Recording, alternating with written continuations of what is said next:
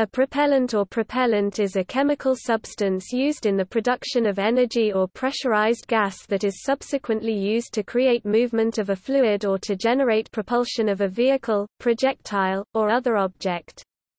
Common propellants are energetic materials and consist of a fuel like gasoline, jet fuel, rocket fuel, and an oxidizer. Propellants are burned or otherwise decomposed to produce the propellant gas. Other propellants are simply liquids that can readily be vaporized. In rockets and aircraft, propellants are used to produce a gas that can be directed through a nozzle, thereby producing thrust. In rockets, rocket propellant produces an exhaust, and the exhausted material is usually expelled under pressure through a nozzle. The pressure may be from a compressed gas, or a gas produced by a chemical reaction. The exhaust material may be a gas, liquid, plasma, or, before the chemical reaction, a solid, liquid, or gel. In aircraft, the propellant is usually a fuel and is combusted with the air. In firearm ballistics, propellants fill the interior of an ammunition cartridge or the chamber of a gun or cannon, leading to the expulsion of a bullet or shell, gunpowder, smokeless powder, and large gun propellants. Explosive material can be placed in a sealed tube and act as a deflagrant low explosive charge in mining and demolition, to produce a low-velocity heave effect gas pressure blasting.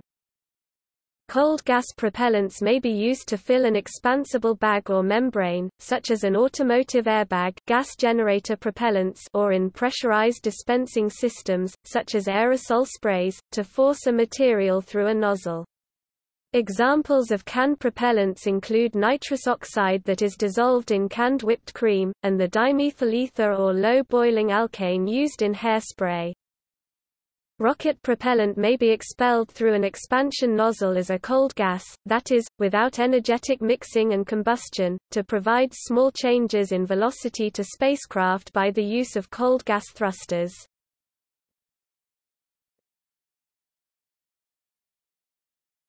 Topic: Aerosol sprays. In aerosol spray cans, the propellant is simply a pressurized gas in equilibrium with its liquid at its saturated vapor pressure. As some gas escapes to expel the payload, more liquid evaporates, maintaining an even pressure.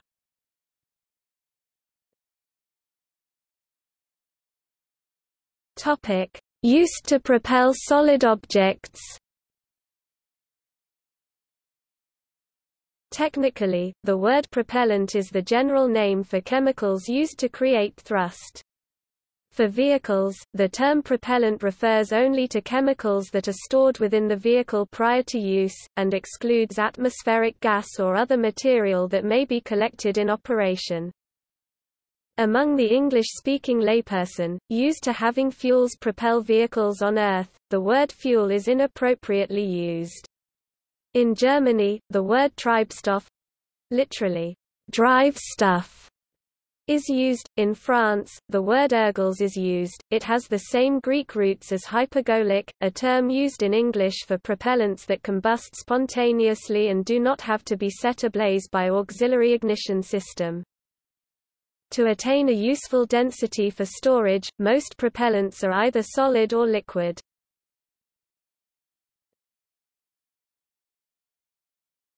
Topic: Solid propellant. In ballistics and pyrotechnics, a propellant is a generic name for chemicals used for propelling projectiles from guns and other firearms. Solid propellants are usually made from low explosive materials, but may include high explosive chemical ingredients that are diluted and burned in a controlled way deflagration rather than detonation. The controlled burning of the propellant composition usually produces thrust by gas pressure and can accelerate a projectile, rocket, or other vehicle. In this sense, common or well-known propellants include, for firearms, artillery, and solid propellant rockets, gun propellants, such as gunpowder, black powder, nitrocellulose-based powders, cordite, ballistite, smokeless powders, composite propellants made from a solid oxidizer such as ammonium perchlorate or ammonium nitrate, a synthetic rubber such as HTPB, PBAN, or polyurethane or energetic polymers such as polyglycidyl nitrate or polyvinyl nitrate for extra energy, optional high explosive fuels again, for extra energy such as RDX or nitroglycerin, and usually a powdered metal fuel such as aluminum. Some amateur propellants use potassium nitrate, combined with sugar, epoxy, or other fuels and binder compounds.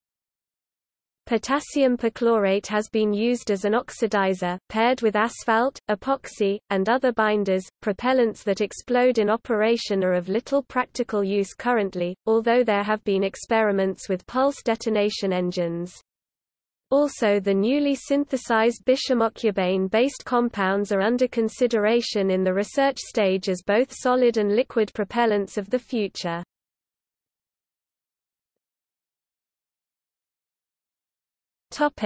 Grain. Solid propellants are used in forms called grains.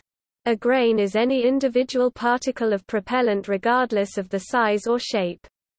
The shape and size of a propellant grain determines the burn time, amount of gas, and rate produced from the burning propellant and, as a consequence, thrust versus time profile. There are three types of burns that can be achieved with different grains.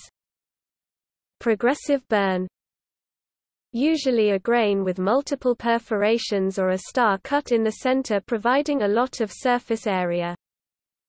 Degressive burn usually a solid grain in the shape of a cylinder or sphere.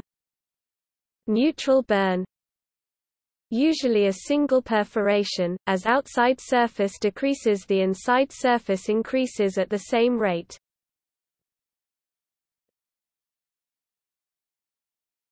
Topic: Composition.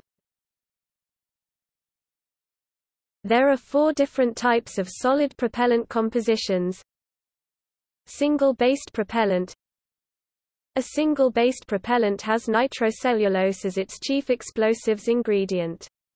Stabilizers and other additives are used to control the chemical stability and enhance the propellant's properties. Double-based propellant Double-based propellants consist of nitrocellulose with nitroglycerin or other liquid organic nitrate explosives added. Stabilizers and other additives are also used. Nitroglycerin reduces smoke and increases the energy output. Double-based propellants are used in small arms, cannons, mortars and rockets. Triple-based propellant Triple-based propellants consist of nitrocellulose, nitroguanidine, nitroglycerin or other liquid organic nitrate explosives. Triple-based propellants are used in cannons. Composite Composites contain no nitrocellulose, nitroglycerin, nitroguanidine or any other organic nitrate. Composites usually consist of a fuel such as metallic aluminum, a combustible binder such as synthetic rubber or HTPB, and an oxidizer such as ammonium perchlorate. Composite propellants are used in large rocket motors.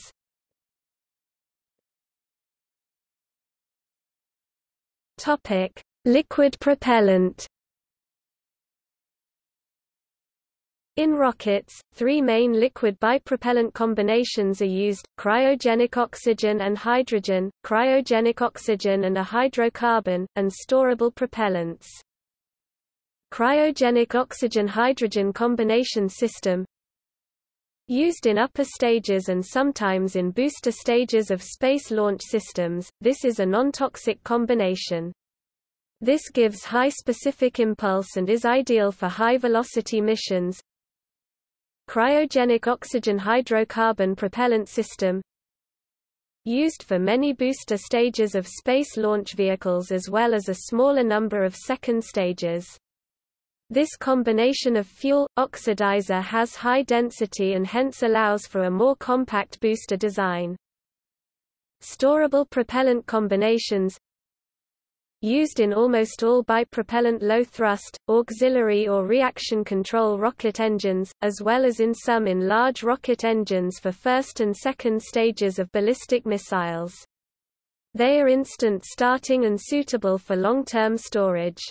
Propellant combinations used for liquid propellant rockets include liquid oxygen and liquid hydrogen liquid oxygen and kerosene or RP1 liquid oxygen and ethanol liquid oxygen and methane hydrogen peroxide and mentioned above alcohol or RP1 red fuming nitric acid RFNA and kerosene or RP1 RFNA and unsymmetrical dimethylhydrazine UDMH dinitrogen tetroxide and UDMH, MMH, and or hydrazine common monopropellant used for liquid rocket engines include hydrogen peroxide hydrazine red fuming nitric acid RFNA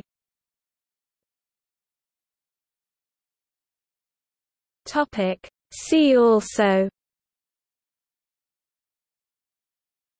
Fuel. Propellant depot. Spacecraft propulsion.